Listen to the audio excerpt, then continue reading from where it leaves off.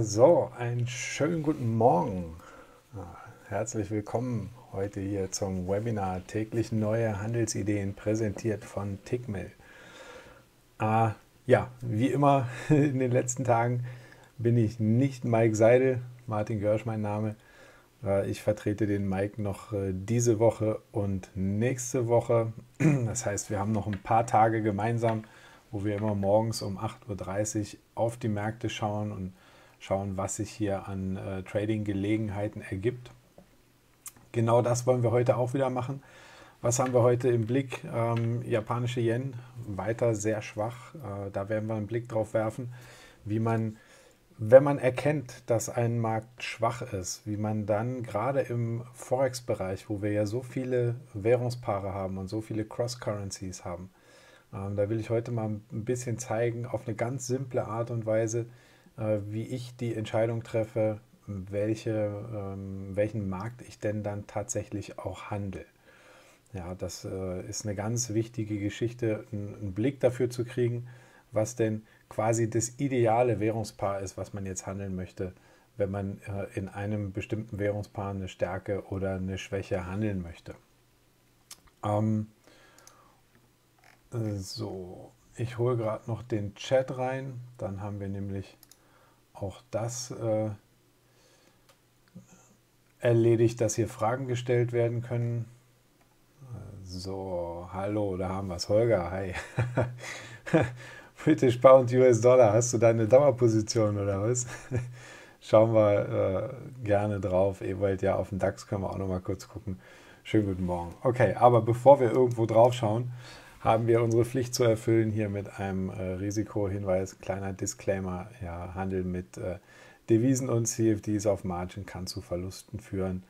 Äh, und zwar kann das im Extremfall sogar zum Totalverlust führen. Ja, also bitte darauf achten, dass ihr äh, die Märkte, die ihr handelt, gut kennt, dass ihr die Produkte, die ihr handelt, gut kennt und äh, dass ihr euch der Risiken bewusst seid, die ihr eingeht, wenn ihr äh, an den Finanzmärkten handelt. Dann ganz wichtig noch, das, was wir, was wir hier heute machen, alles, was ich hier zeige, ist bitte keine Anlageberatung und auch keine Kauf- oder Verkaufempfehlung für irgendwelche Finanzprodukte, sondern es zeigt rein mein subjektives Bild auf die Märkte. Solltet ihr Trades umsetzen wollen, macht ihr das auf eigenes Risiko. Ähm, wie immer einmal kurz der Blick auf die Nachrichten heute.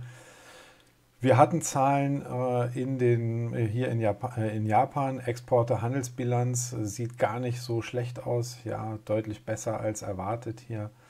Ähm, trotzdem hilft das dem japanischen hier nicht wirklich auf die Sprünge.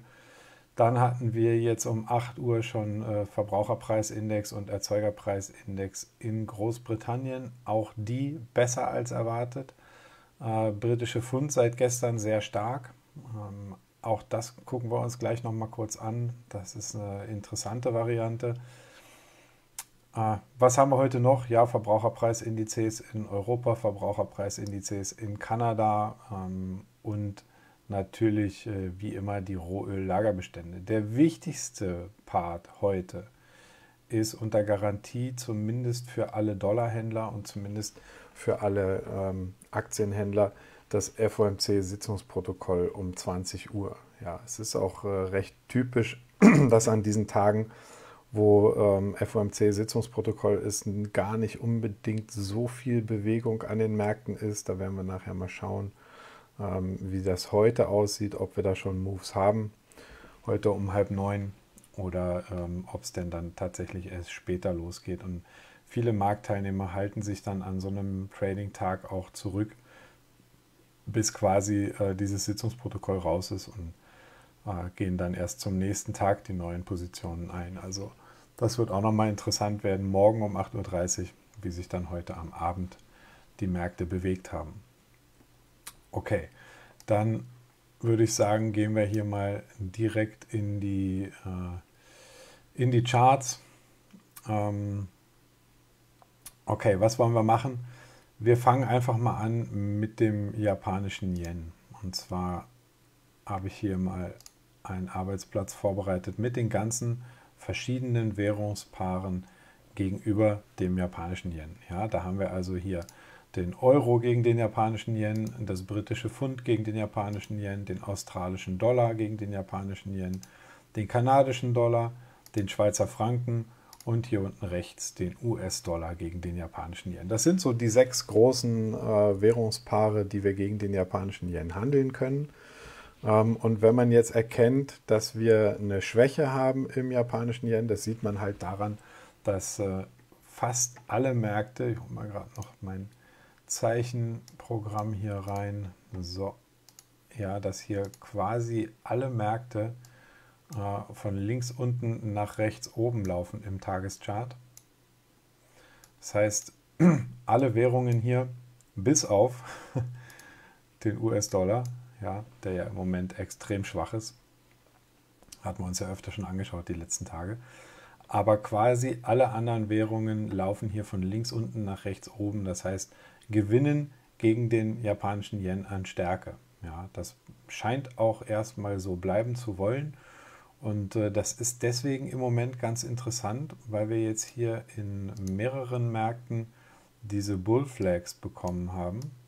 Ja, ich zeige das mal hier im Cut Japanese Yen, hier haben wir es im Swiss Franc Japanese Yen, na, hier haben wir es im British Pound, hier haben wir es im Euro. Ja, wir haben hier überall diese Bull Flags und dann haben wir das Ganze hier als so quasi äh, Mini-Flagge hier im äh, australischen Dollar, japanischen Yen.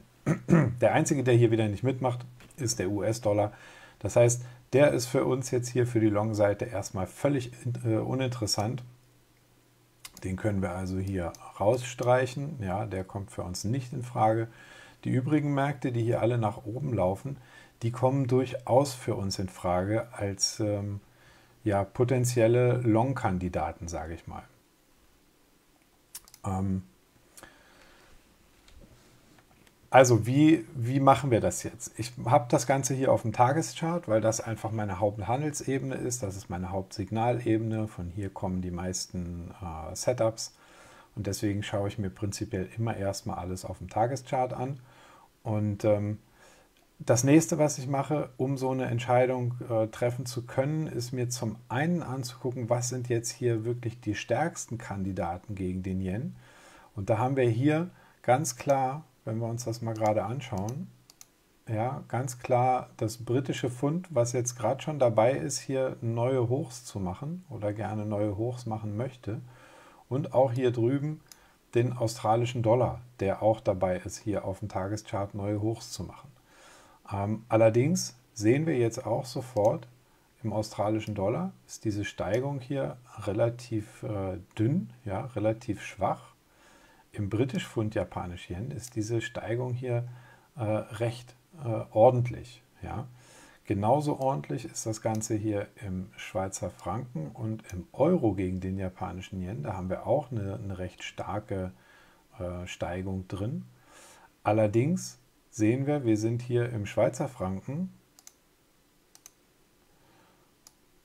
Ja, da sind wir noch 1, 2, 3 Tage, 4 Tage hier gefallen und befinden uns jetzt hier im Moment noch im unteren Bereich. Wir sind also noch lange nicht hier an den Hochs. Das heißt, britisch Pfund deutlich stärker momentan als Schweizer Franken.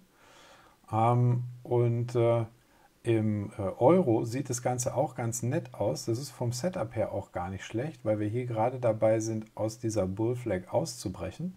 Das heißt, die beiden äh, Haupt-Trading-Kandidaten, die im Prinzip jetzt hier für uns in Frage kommen, ist Euro-Japanisch-Yen und Britisch-Pfund-Japanisch-Yen. Ja, und für die langfristige Ebene vielleicht auch noch der australische Dollar, einfach weil der jetzt auch gerade dabei ist, hier nach oben auszubrechen. Also wollen wir uns die drei hier nochmal ein bisschen genauer anschauen. Die anderen kommen erstmal für uns jetzt hier nicht in Frage. Ja, weil Schweizer Franken, wie gesagt, ist noch äh, unten unter dem Tief hier der letzten äh, drei, vier Tage. Also von diesen drei Handelstagen befinden wir uns noch unter dem Tief. Das ist also uninteressant.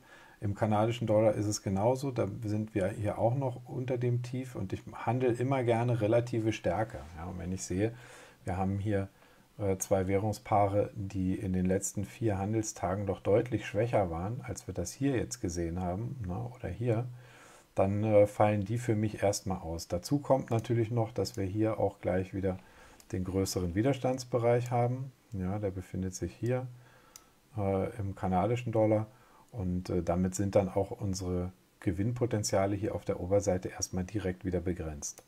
So, jetzt haben wir also diese drei Währungspaare, die wir uns hier anschauen.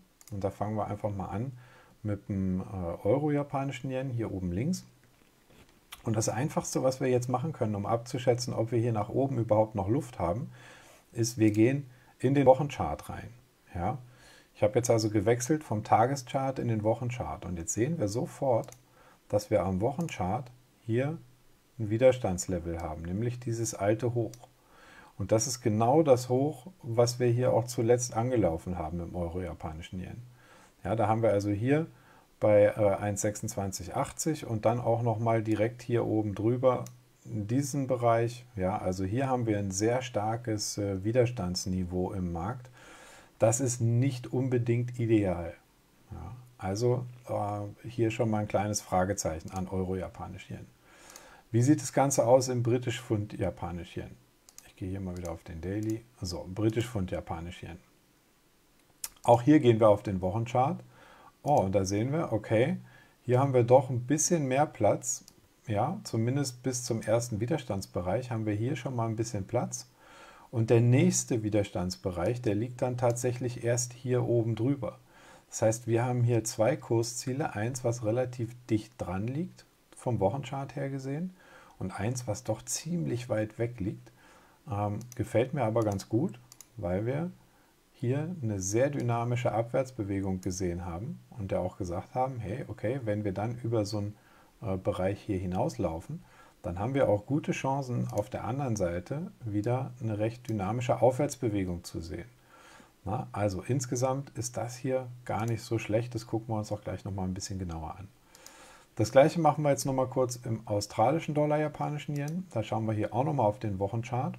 Und da sehen wir auf dem Wochenchart sieht das Ganze auch sehr interessant aus, weil wir sind jetzt im Moment hier an diesem äh, Widerstandsbereich. Ja, da sind wir aber schon dabei, wenn wir hier drüber laufen, nach oben auszubrechen.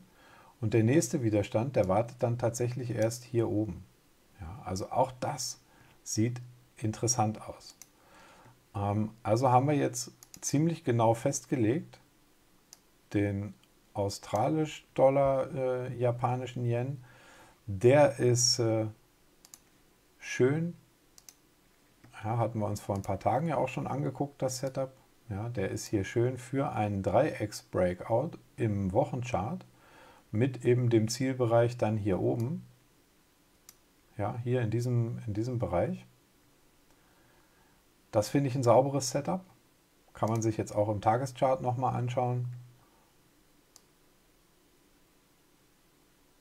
Ja, das Ganze sieht dann also im Tageschart so aus, dass wir hier das Ausbruchslevel haben, ungefähr bei 76,80. Wenn wir hier zur Oberseite nach oben durchlaufen, wäre das ein, ein Zeichen, dass dieser Ausbruch aus dem, aus dem Dreieck hier funktioniert. Können wir hier mal noch ein bisschen ranholen. So. Ähm, und dann hätten wir hier die Ziellevel vom Tageschart. Ja, da haben wir hier ein kleines äh, Widerstandslevel mache das mal in Rot.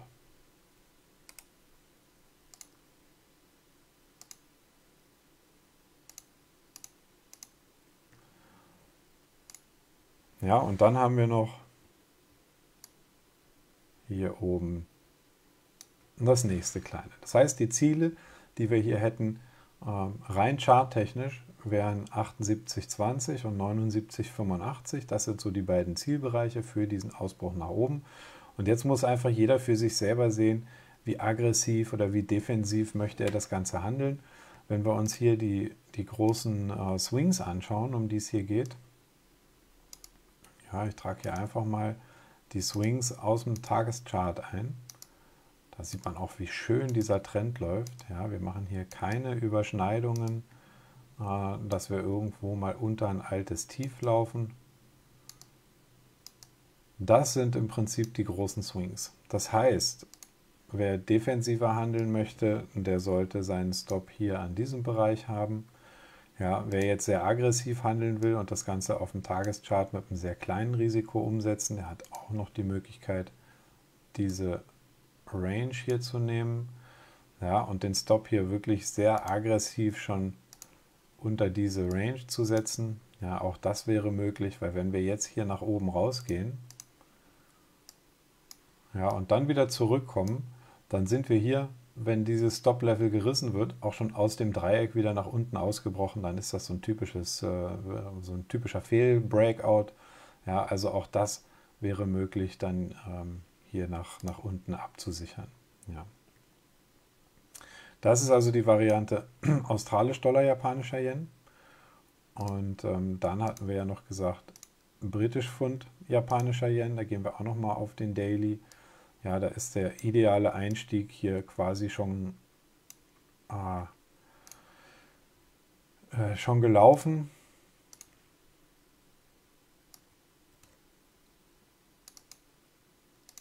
Ich sag mal, ideal wäre gewesen hier ja, den Ausbruch aus der, äh, aus der Bull Flag. Das ist hier Ja, so 139,70, äh, das wäre ein schönes Einstiegssetup gewesen. Vielleicht sogar noch mal ein bisschen höher, hier noch über dem hoch. Da kann man jetzt natürlich auch Retracements drauf handeln. Ich mache das nochmal in Pink hier, unsere Signalfarbe. Ja, ähm, hier kann man also jetzt auch in der, in der kleineren Zeitebene dann noch äh, eventuell Retracements handeln, hier im Stundenchart, wenn wir nochmal mal auf dieses Niveau draufsetzen oder auch hier oben in dem Bereich 77, auch das ist noch gut möglich. Ähm, das sind also äh, ja, Feinheiten, äh, wo, wo jeder im Prinzip immer selber entscheiden muss, wie möchte er das Ganze handeln, möchte er das überhaupt handeln. Äh, aber insgesamt sieht das gar nicht so verkehrt aus. Jetzt können wir hier auch nochmal auf den Bereich der Ziele schauen. Und da hatten wir ja gesagt, das weite Kursziel das liegt dann hier oben so im Bereich äh, 1,44.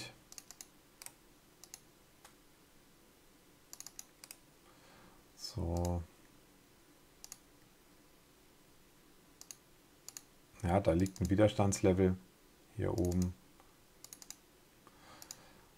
Ähm, also von daher, äh, auch wenn man, äh, wenn man die Stops jetzt hier ein bisschen enger oder ein bisschen weiter setzt, ja, wir sind auf dem Tageschart, man könnte dann Stop hier setzen an dieses Tief, man könnte seinen Stop auch ganz aggressiv hier setzen. Ähm, das ist am Ende relativ egal, ja, weil wenn wir uns das anschauen, dann haben wir auf jeden Fall, selbst wenn wir den weiten Stop nehmen hier, ein sehr gutes Chance-Risiko-Verhältnis. Das ist das Risiko, was wir nehmen würden, das wäre äh, der Zielbereich, den wir hier hätten. Das ist ein ganz hervorragendes Chance-Risiko-Verhältnis. Also sowas kann man durchaus ähm, hier handeln. Ja. Ähm, okay.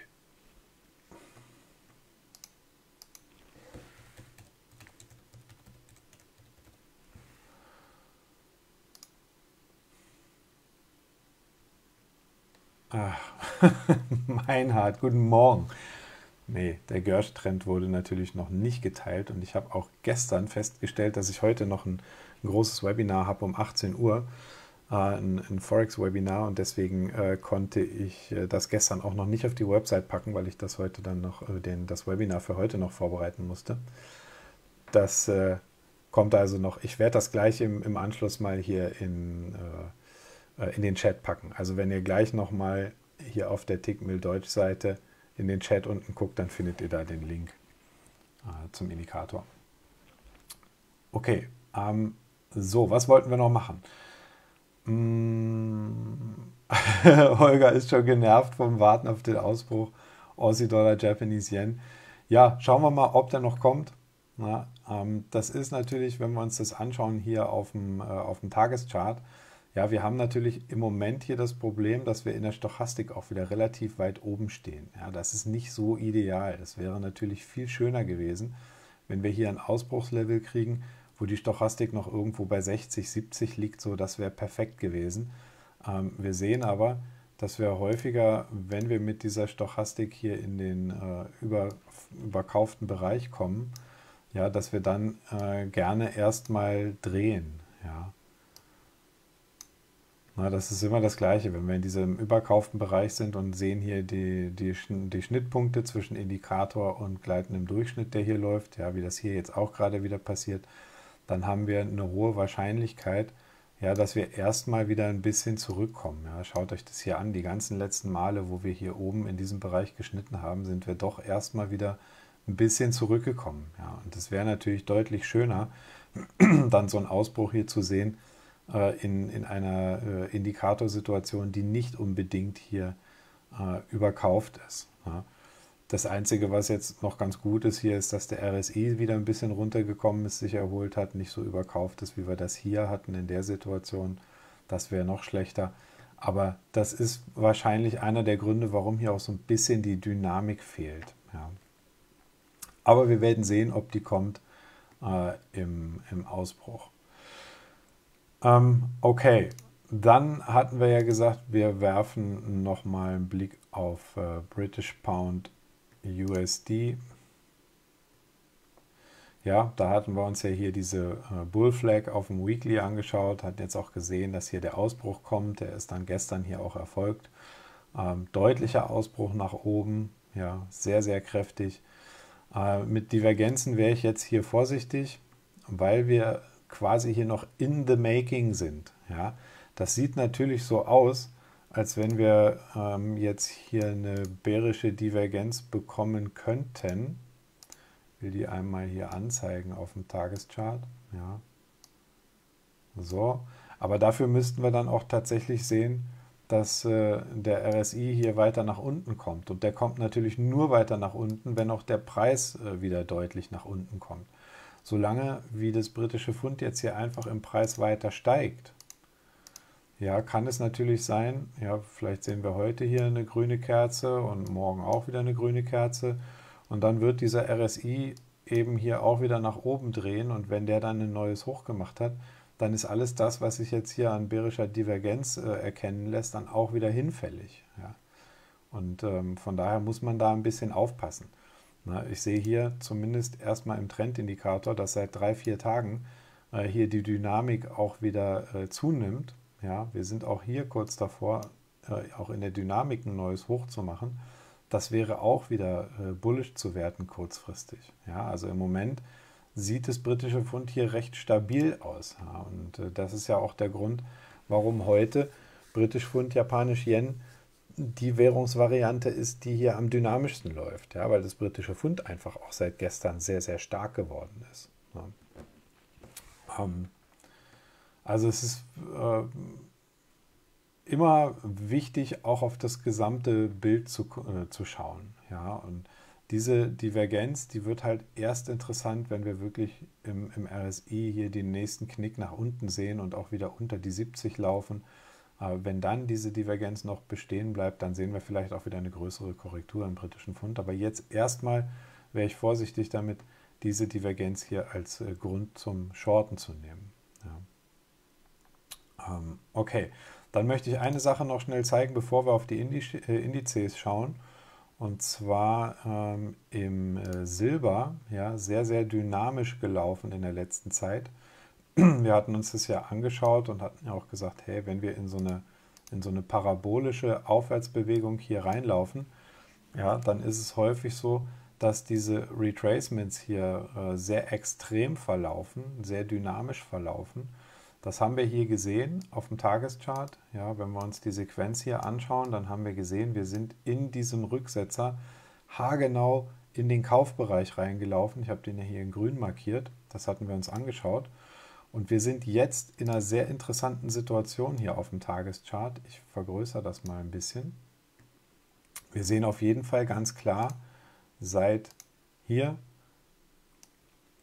ja, sind wir im äh, Trendindikator klar bullish, äh, sind auch die ganze Zeit bullish geblieben. Und wenn wir uns das mal anschauen, trotz dieser großen Korrektur, die hier gelaufen ist, wie stark eigentlich dieses Aufwärtsmomentum hier noch ähm, gewesen ist, dann sieht man auch sofort, dass das ein, ein hervorragender Grund ist, hier in diesem Kaufbereich eine Long-Position aufzubauen, weil wir einfach sehen, dass wir im, im Trendbereich immer noch extrem stark sind. Ja? Ähm, jetzt haben wir hier eine zweite Möglichkeit bekommen oder bekommen die gerade, nämlich, wenn wir uns das hier anschauen, dann haben wir hier ein Dreieck, haben hier einmal kurz einen Break gesehen, der an dieses Widerstandslevel hier gelaufen ist, wirklich punktgenau an dieses Widerstandslevel, wieder deutlich retraced hat und jetzt wieder quasi dieses Ausbruchslevel getestet hat. Und im Moment befinden wir uns hier noch im Test des Ausbruchslevels. Die Tageskerze ist rot, das heißt im Moment ähm, haben wir hier leicht fallende Kurse. Dafür gehen wir jetzt mal in die kürzere Zeitebene hier und zwar in den 4-Stunden-Chart. Da sehen wir das auch nochmal ganz schön. Wir haben also hier dieses, äh, so, dieses Widerstandslevel. Ja, da sind wir also schön dran gelaufen, sind von hier wieder runtergekommen und sind jetzt eben hier im Test von diesem alten Hoch. Also nehmen wir mal die hier, packen die hier hin. Ja, wenn wir die Dochte hier weglassen, dann ist das hier das alte Hoch, wichtiger Bereich. Ja, hier haben wir das alte Tief, ganz hervorragend. Und jetzt geht es einfach darum, auf dieser kleineren Zeitebene eine Möglichkeit zu finden, hier einen Einstieg zu kriegen, wenn man denn da handeln möchte. Und da bietet sich zum Beispiel aktuell hier an, eine äh, Bullflag zu traden.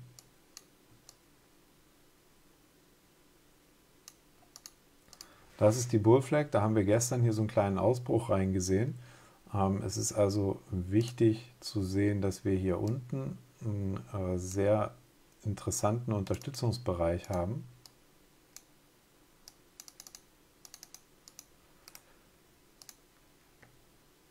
Und den könnte man sogar ja, wenn man ganz aggressiv traden will, hier als Stop-Level verwenden. Das ist aber wirklich aggressiv, zumal man, wenn man sich anschaut, wie hoch die Volatilität hier äh, im äh, Silber momentan ist. Ja, wir könnten das Ganze also auch hier unten hinpacken. Das ist die etwas sicherere Variante. Ähm, und man würde dann im Prinzip darauf setzen, dass sich diese alte Trendbewegung, die wir hier gesehen haben, dass sich diese alte Trendbewegung weiter fortsetzt. Ja. Sequenzen sind diese hier. Ähm, dann haben wir hier eine ABC-Korrektur auf dem äh, 4-Stunden-Chart gesehen und laufen jetzt hier wieder in diese in diese neue Trendrichtung oder in diese alte Trendrichtung. Ja. Und das wäre das, was man ähm, rein aus der Trendanalyse jetzt hier erwarten könnte, nämlich dass wir aus dieser Bullflag nach oben ausbrechen, über dieses letzte Hoch hier gehen äh, und äh, den Trend eben in die Aufwärtsrichtung weiter fortsetzen. Ja, da muss man damit rechnen, dass wir in, in diesem Bereich hier nochmal ein bisschen Widerstand bekommen. Hier. Ja, das wird nicht so einfach werden, da einfach durchzugehen. Ähm, aber prinzipiell, wenn die Trendbewegung sich weiter fortsetzt, dann wäre das eine Möglichkeit äh, zu handeln. Den genauen Einstieg jetzt hier zu bestimmen, das ist auch wieder Aufgabe jedes Traders selbst. Ja, da muss auch wirklich immer jeder genau gucken, was passt denn zu seinem Handelssystem. Wenn man jetzt kurzfristig arbeiten will, vielleicht mit den Stops hier unten, dann könnte man mal schauen auf dem Stundenchart. Wie sind denn auf dem Stundenchart hier die letzten äh, Abwärtssequenzen? Ja, da haben wir natürlich einmal diese große hier, die ist ganz interessant und dann laufen wir hier in diese kleinen rein. So sieht das im Moment aus und da wäre zum Beispiel eine Möglichkeit, ähm, auf äh, Kurse zu warten, die zumindest über dieses letzte Hoch mal gehen oder vielleicht sogar hier über die 28, ähm, dass man zumindest sieht, dass die Marktteilnehmer hier wieder kaufen. Ja, und man muss hier auch einfach ein bisschen vorsichtig sein jetzt, weil wir in der kleinen Zeitebene hier schon dabei sind, aus dem Aufwärtstrend rauszufallen, in den Abwärtstrend zu gehen. Ja, und wenn man sich das anguckt, auch in der kleinen Zeitebene reagiert dieses Teil relativ zügig. Ja, hier sind wir mit dem Ausbruch unter das Tief, sind wir hier schon in den äh, Abwärtstrend gekommen und hier mit dem Ausbruch über das Hoch sind wir hier schon wieder in den Aufwärtstrend gekommen. Ja, also das, das geht recht schnell, dass wir hier die, ähm, die neuen Trends erkennen. Und jetzt sind wir gerade an einem möglicherweise äh, Wendepunkt und das sollte man jetzt doch ein bisschen genauer beobachten. Wenn wir aber eben darauf warten, dass es hier zumindest erstmal neue Hochs gibt, dann ähm, äh, haben wir hier eine Möglichkeit, äh, auch den Trendindikator schon wieder deutlicher grün zu sehen. Ja, auf den 4 Stunden sehen wir, ja, da wird es auch langsam äh, schwierig. Wir, wir, sind hier in den Bereich gelaufen, wo die Dynamik äh, quasi raus ist. Wir sind zwar noch grün, aber die Dynamik geht raus. Und äh, sauber ist das Ganze noch auf dem Tageschart, ganz klar. Ja, und auf dem Wochenchart, ganz klar. Ja, logischerweise, wenn man sich die Bewegung anschaut, dann sind die Retracements, die hier auf dem Wochenchart gelaufen sind, völlig normal. Ja, wir haben nicht mal den letzten Hochbereich getestet hier.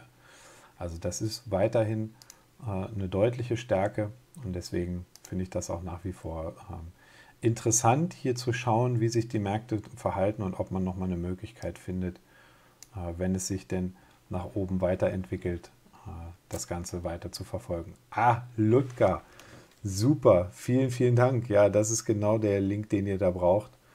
Ähm, zur Seite von äh, Trading Indicators.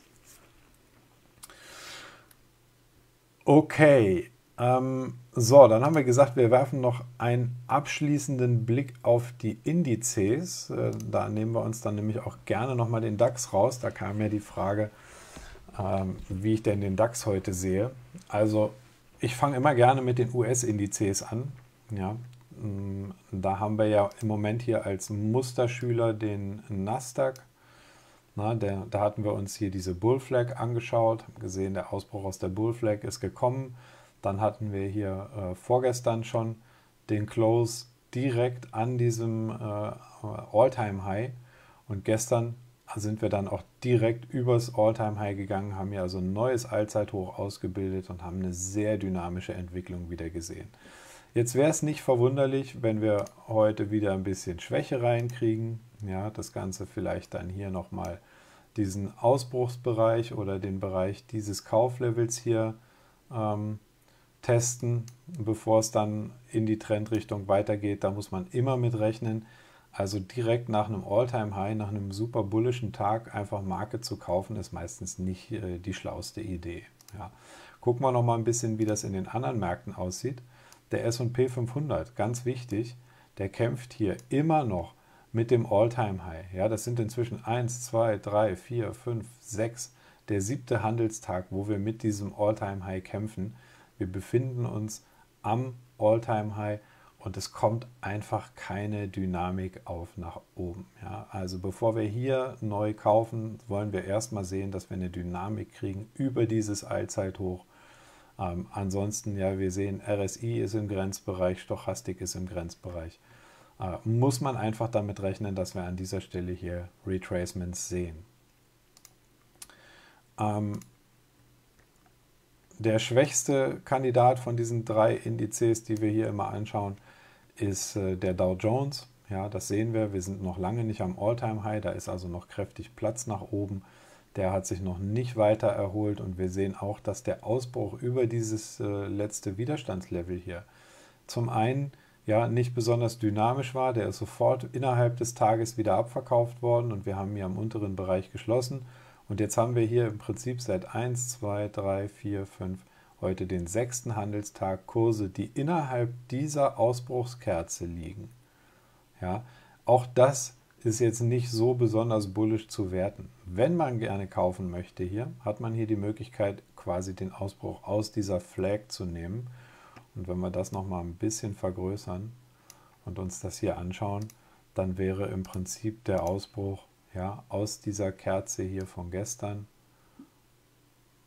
Na, wenn wir hier nach oben rausgehen, wäre das eine Möglichkeit, äh, hier eine Long-Position zu etablieren für einen weiteren Ausbruch über das hoch und dann vielleicht auch irgendwann mal den Anlauf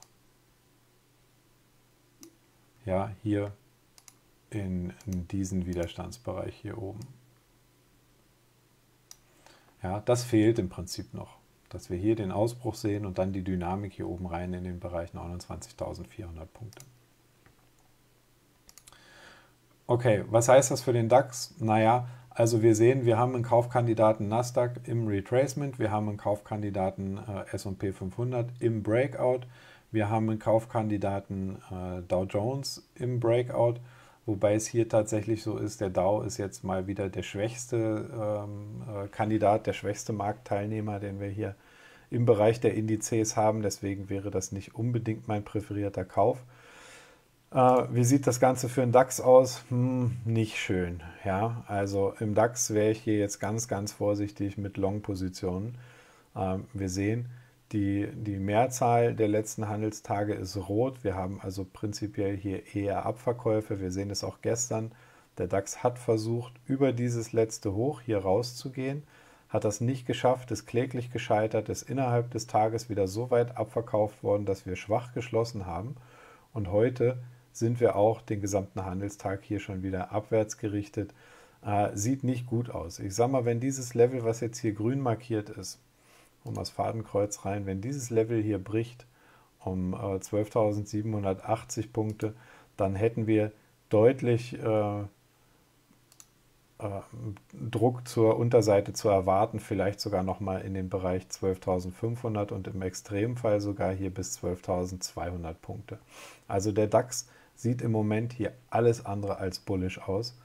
Ähm, wir haben hier auch ein ganz, ganz wichtiges Widerstandslevel. Ja, das ist hier einmal, zweimal, dreimal angelaufen worden. Alleine das wäre schon ein Ausschlusskriterium jetzt für mich hier eine Long-Position zu nehmen. Ich würde im DAX tatsächlich eher vielleicht als Hedging-Position für ähm, irgendwelche Long-Trades, die noch laufen auf US-Einzelaktien oder so, würde ich eher hier den Ausbruch nach unten verkaufen und schauen, ob man hier vielleicht äh, 200 Punkte äh, auf der Unterseite mitnehmen kann, als hier zu versuchen, irgendwo Long-Positionen aufzubauen. Ja, schauen wir auf den Trendindikator.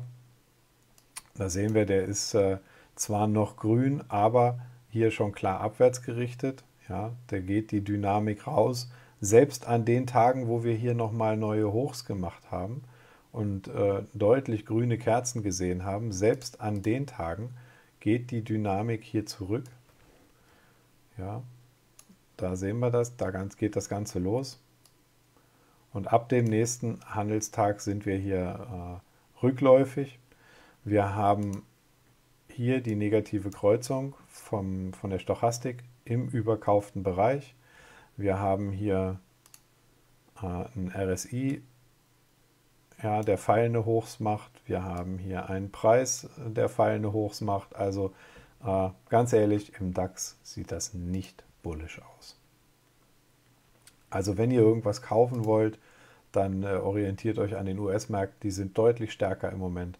Wenn ihr was verkaufen wollt, dann gibt es auch äh, noch schwächere Kandidaten. Ja, wir haben hier den UK 100, ähm, da sehen wir auch sehr schön, wie der äh, tiefere äh, Hochs macht. Der hat sich überhaupt nicht gut erholt. Ja, da ist der große Widerstandsbereich dieser hier gewesen. Das ist der große Widerstandsbereich. Wir sind nicht mal bis an den Widerstandsbereich gelaufen, Wir machen jetzt hier seit einiger Zeit schon neue Tiefs und tiefere Hochs. Ja, hier wäre die logische Konsequenz, dass die Bewegung hier nach unten weitergeht, vielleicht nochmal bis in diesen Unterstützungsbereich hier unten rein. Das sieht also äh, bärisch aus.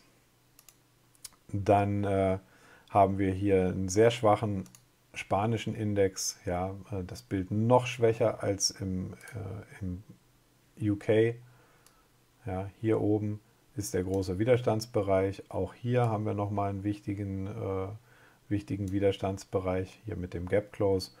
Nicht im Ansatz dahin gelaufen. Ja, jetzt kriegen wir hier, na, hier nochmal ein Doppelhoch, aber kriegen hier eine Sequenz von fallenden Hochs, kriegen hier eine Sequenz von fallenden Tiefs.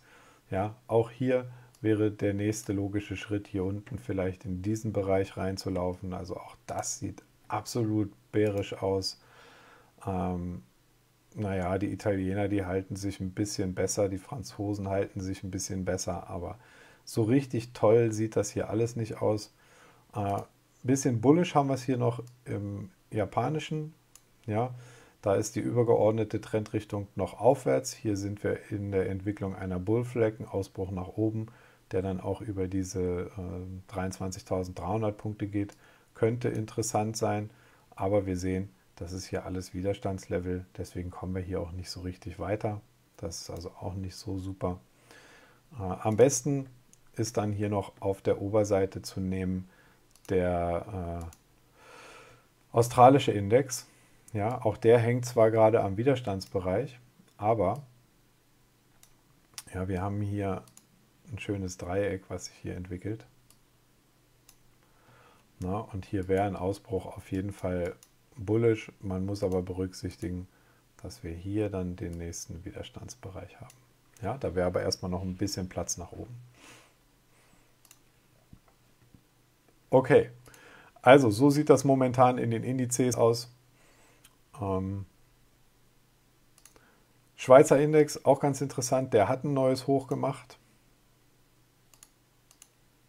Der ist hier über dieses letzte Hoch drüber gegangen, hat dann aber hier eine Top-Bildung generiert, kommt jetzt von oben in das Dreieck. Das heißt, hier ein Ausbruch nach unten könnte auch interessant werden, vielleicht nochmal für einen Test der 9900 Punkte. Ja. Äh, aber wie gesagt, es gibt schwächere Kandidaten, die vielleicht äh, ein bisschen dankbarer sind auf der Abwärtsseite. Gut, das wäre es dann für heute gewesen. Ich glaube, wir haben einen ziemlich äh, umfangreichen Überblick gehabt über die einzelnen Märkte. Äh, sind wir mal gespannt, wie die Yen-Währungen weiterlaufen. Sind wir mal gespannt, wie Silber weiterläuft. Schauen wir uns morgen an. Und dann werfen wir natürlich auch morgen um 8.30 Uhr wieder einen Blick auf die Indizes. Bis dahin wünsche ich euch einen erfolgreichen Handelstag und sage bis morgen, macht's gut und bye bye.